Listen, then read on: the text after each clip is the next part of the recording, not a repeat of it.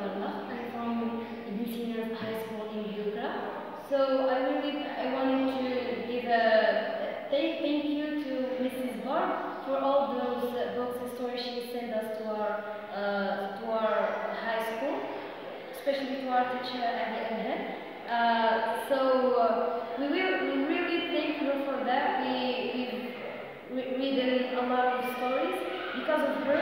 Uh, like um, we without those we couldn't even like open a book. So I really thank you.